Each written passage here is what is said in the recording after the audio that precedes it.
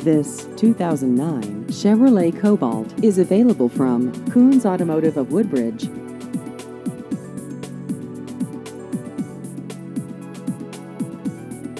This vehicle has just over 49,000 miles.